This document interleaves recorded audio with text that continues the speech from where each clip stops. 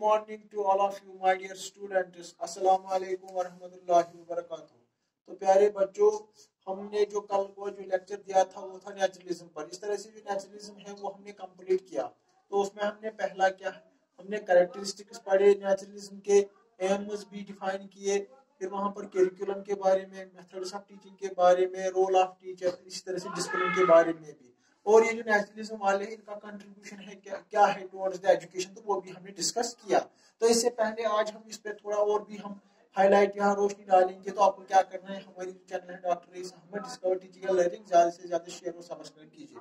तो यहाँ पर है कि पहले हमने वहाँ पर पढ़ा कि ये जो नेचुरलिज्म है, इसके कुछ कैरेक्टरिस्टिक्स है। ये पहला है वे बिलीव नेचर पे करते हैं। इनपे बिलीव मटेरियल वर्ल्ड पे होता है बिलीफ इन साइंस होता है no belief in soul soul पे इनका बिलीव नहीं होता। है इसी तरह से बिलीफ इन सेंसेस होता है। इसी तरह, और unchangeable laws of nature heredity and environment so these were some important characteristics उसके बाद हमने पढ़ा कि जो नेचुरलिज्म वाला है, इसमें एम्स क्या क्या है? इन्होंने सेल्फ एक्सप्रेशन पे ज़ोर दिया है। इसी तरह से परफेक्शन ऑफ़ ह्यूमन मशीन पे ज़ोर दिया है। रिडक्शन ऑफ़ ह्यूमन इंस्टिंक्ट्स का है इनका एम स्ट्रगल फॉर एग्जिस्टेंस है इनका।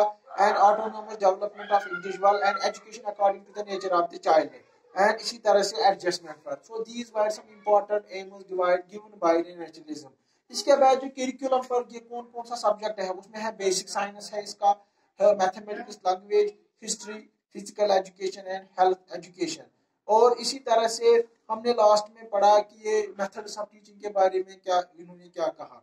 इनका जो मेथड है डायरेक्ट एक्सपीरियंस है सेल्फ जिसको हम सेल्फ एक्सपीरियंस बोलते हैं। इसी तरह से मैक्सिमम यूज़ ऑफ़ सेंसेस पे ज़ोर दिया है।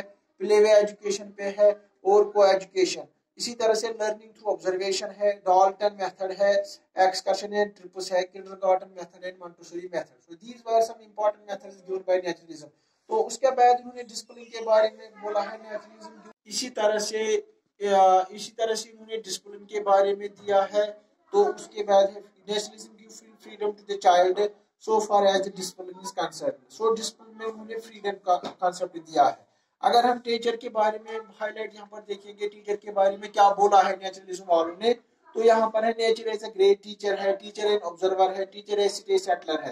तो लास्ट में यहाँ पर आपको याद रखना है कि उन्होंने सेल्फ एक्सप्रेशन पे ज़ोर दिया है फॉलो नेचर पे ज़ोर दिया है ऑटो एजुकेशन है इसका। तो in naturalism angel share freedom as well as responsibility is concern so these were some important discussion about the naturalism तो इनशाला जो टुमारो हमारा लेक्चर होगा, वो होगा आइडियलिज्म पर।